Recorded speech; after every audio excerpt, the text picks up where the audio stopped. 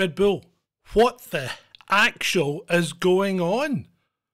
It's like you take them one of the most successful Formula One teams ever, and what do you do? You start destroying it from the inside out because, from an outsider's point of view, that's what seems to be happening. Why have these two literal bulls of the Formula One circuit, Jos Verstappen and Christian Horndog, sorry, Christian Horner, gone head to head against each other? Is there more to it than just a woman? The rumour is that Jos Verstappen was maybe having something of an extracurricular activity with this alleged woman. And he took offence when Christian Horndog Horner decided to start texting her with flirtatious texts. What's the actual truth? What really went down? Well, we may never know, but we do know a few things. One, the horn dog has been caught out. The CEO of Red Bull Racing, Christian Horner, who's been there since 2005 and built the team from the remnants of the old Jackie Stewart team, Formula Ford, then Jaguar, into Red Bull Racing and the dominating force that it is under his stewardship, along with his driver, Max Verstappen. But is he his driver? Again, there's more to this than actually meets the eye. And what's it got to do with Jos? Why do we care about him? Fathers in the pit lane have always been a bit strange and they need to tread a careful line. Carlos Sainz Sr., you hardly ever see, and he doesn't seem to take an awful lot of hands on. Whereas Lewis Hamilton's father used to be quite vocal and used to be there at almost every race. Remember Jenson Button's dad? He was there as a very strong supporter of Jenson but never really interfered with how the team were running things. But Jos Verstappen seems to be trying to reignite his, let's shall we say, mediocre Formula One career by living it through his son Max. but anyway, to cut to the chase, what happened?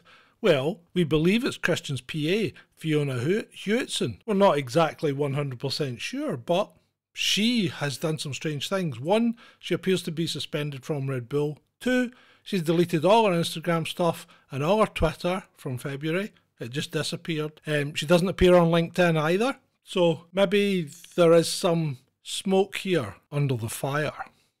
The fire that is the horn dog's love interest. So she complained to Red Bull's headquarters in Austria. Now, hold on. Red Bull's based in Milton Keynes. No, Red Bull Racing is based in Milton Keynes. Red Bull Powertrains are based in Milton Keynes. But Red Bull GmbH, the parent company, Red Bull, as you know, the energy drink, is based in Austria. And it was a brainchild of Dieter Mateschitz, who died in 2022. He was a very strong supporter of Christian Horner, but his son Mark doesn't seem to have the same loyalty. His son Mark seems to be more involved with Helmut Marko. And this is where things start to get interesting or or is are we just making up conspiracies now because we never actually know what's going on let's try and determine the timeline of what's happened here. So the young lady has complained to red bull at their headquarters. She didn't work at milton keynes. She worked at an office in london red bull representation office. She was in charge of media or not in charge of media but she was part of the media team. And Christian Horner's PA, so she would meet when she went out to Grand Prix. Now, it's rumoured that Jos was getting quite friendly with her and was meeting her on a number of occasions. Jos, the married man, with two kids by his current wife, I believe. Yes, Jos has been married three times, so hmm, maybe Jos has got a penchant for the ladies. Christian, currently married to Geri Halliwell, aka Spice Girl, former Spice Girl Geri, was sending flirtatious texts to her. And there's, there may be, it may be that you could construe that something might have been going on. It's hard to actually pin it down. Um, although file 76, oh no, we'll come to that. Although we'll come to it when we start discussing the files, the Horndog files. So GmbH took this seriously, as you would any complaint from any employee, and you would investigate it. And they investigate it inappropriate behaviour against the CEO of Red Bull Racing, Christian Horner. Let's investigate it. they brought in a King's Counsel to head up the the investigation.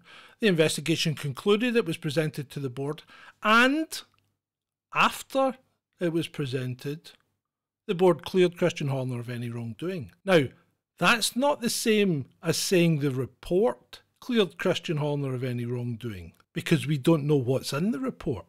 They never told us what was in the report, just said that the board were clearing Christian of any wrongdoing. So the question is, was there any smoke there without fire? Now, apparently the young lady in question had time to appeal that decision, and the time that she had to appeal that decision appears to have run out, although she is now being reported in British newspapers who refused to name her for some reason. But it's quite it's quite obvious now who she is, are reporting that she's going to be making an appeal or is it that she's going to be making a civil uh, a, a civil case against them? So we need to find out exactly what's going to happen there. But after Christian was cleared, the Horndog files were released. Who did that? Because the texts that were involved were released and released in a most insidious way. They were emailed directly to every Formula One team principal. They were emailed directly to Ben Sulayem Sam Samuel, oh, the guy that runs FIA and the guy that runs Formula One, Stefano Domenicali. They were also released to Jos Verstappen. Who released these files? Again, we're not 100% sure, but we have a good idea of who did it. The ball's back in play because no sooner has Horner been cleared than these files might be implicating him in some actual wrongdoing. So, what does the Horn Dog do? Well, he turned up at the first Grand Prix with Geri, obviously showing a consolidated front. And then he turns up at the second Grand Prix and he's still dragging Geri around. And it's like a media campaign of, look how good my marriage is. Kissing, cuddling, touching, kissing, cuddling, touching, at every opportunity. It's like it was all stage managed, but Geri, Geri looks like she's out of it. This has come as a kind of surprise to her, and maybe the doctors had to say, hmm, you might have to take these to get through this because Christian's going to put you on parade and pretend everything's all rosy and sweet. And that's exactly what seems to have happened because now we're hearing that Jenny might want to go on holiday on her own. On her own? Wow. Meanwhile, Mr. Verstappen has said Red Bull will explode unless Christian Horner leaves. Christian Horner has no intention of going anywhere. In fact, Christian Horner wants the same kind of deal as Toto Wolff has at Mercedes because Christian Horner is still an employee of Red Bull Racing. He really wants a stake in the team. That's what he wants, and he's pushing for that. But you say if he's done this wrong, why hasn't the board thrown him out? Why haven't the board thrown him out? Well, this is where it gets juicy because now we have confrontation between Austria and Thailand. Thailand? What's Red Bull got to do with Thailand? Well, the guy Yoovidhya, the Thai businessman, he owns 51% of Red Bull. Mark Mateschitz, Dieter's son, only owns 49%. So there may be a bit of a power struggle going. And Yoovidhya has always been kind of on Horner's side, and, and very much so. But now he's asking questions because things have been released and we don't know where the actual true situation is. And Honda are asking questions as well because they're still kind of the team supplier because Red Bull Powertrains isn't quite up and running. And now Ford are asking questions you know, what's actually going on at Red Bull because Ford are going to be involved in Red Bull powertrains come 2026 when the, when the regulations change. It's really becoming a mess. The board released a statement saying that Christian Horner had been cleared and the board were very much in favour of him continuing. But then drama. Helmut Marko got fingered. Fingered? Fingered as the releaser of the Horndog files. Did he do it? Did he? We don't know. It could be that he did though, because Helmut Marko, Max, and Jos have been very close, very close. And Jos and, Jos and Christian have kind of drifted apart, possibly because they've been butting heads for the same woman. Maybe, maybe not. Anyway, Helmut gets figured and then has an interview with ORF. Now, Helmut isn't actually an employee of Red Bull. Racing and isn't actually an employee of Red Bull GmbH. He's a private contractor to Red Bull GmbH and has a three year contract at the moment. He's always been known as saying things when he shouldn't. He, he, he talks out of turn. And Red Bull have actually said that he's not an approved spokesman for Red Bull. So anything that, Red, that Helmut says isn't isn't to be taken as a statement by Red Bull. But Helmut decides to do an interview with ORF, the Austrian broadcaster. But more than that, he gives them a list of questions that they should maybe be asking him. He gives them a list of questions. Huh? Yeah, and one of those questions is Are you likely to be suspended before the Australian Grand Prix? What? So Helmut obviously thinks that he's going to get suspended, and it, what is it's a masterful media campaign, isn't it? Because he's kind of taking the rug out from under them by not saying it, but by getting the by getting the um, by being but by getting the media to ask him the question. So Red Bull then releases a statement saying Helmut Marko is staying. And that then gives us a, a, sigh of relief because Max Verstappen was talking about leaving if his pal Marko gets the bum's rush. My goodness. But then why would Max Verstappen leave what is the best car on the grid? Just because, and let's face it, Helmut's getting on in years. He's 81 or something like that. Why would he leave just because Helmut isn't at the team? I mean, he can still talk to him, you know. Well, it's a, maybe it's a question of loyalty. So what of the angry Dutchman? Well, the angry Dutchman, he makes further statements saying this isn't going to die down. Christian's trying to pour oil on the troubled waters, and the angry Dutchman. And you may think, why do you call Jos Verstappen the angry Dutchman? Well, Jos Verstappen got a five-year jail sentence in 2000 for fracturing somebody's skull. Huh? He didn't go to jail though, because under Belgian law, if you give the person some money, you can get a reduced jail sentence. So he got it suspended. And that was Jos Verstappen and his dad that both got the same sentence after a fight at a kart track while Jos Verstappen was a Formula One driver. And let's say, a mediocre one. I think he finished 12th that year. So where are we now?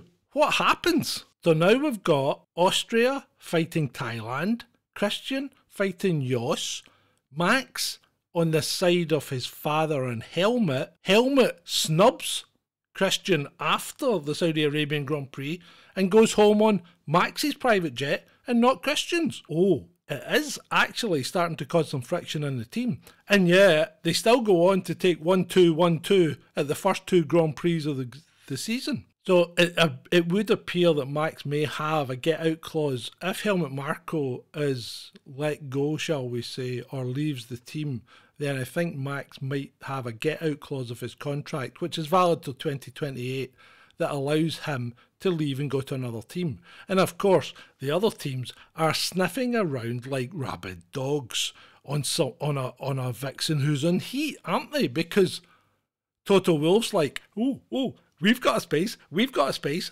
and we're going to have a good car. We are going to have a good car.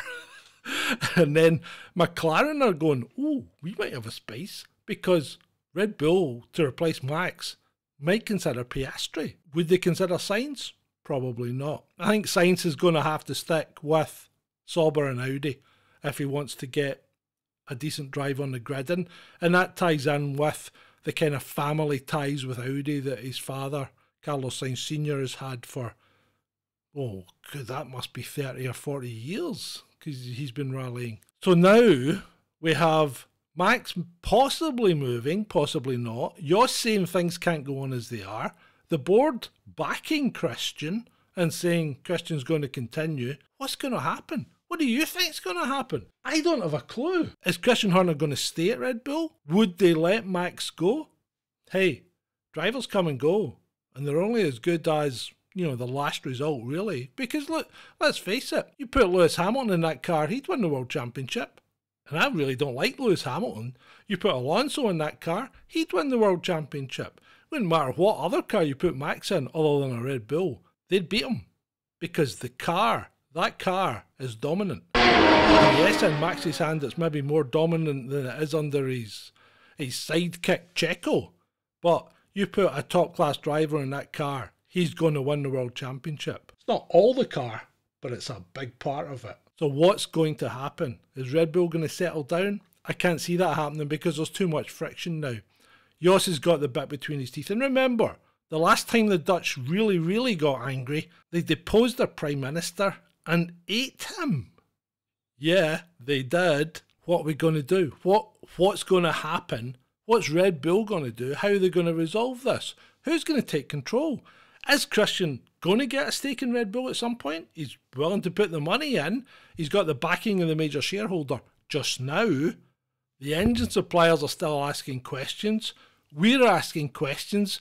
The media are in a frenzy about it. Netflix must be rubbing their hands in glee because we've just had something like five years worth of gossip in the first two races of the Grand Prix season. And you know what? The bad thing is, it's more interesting than the actual racing is. Oh.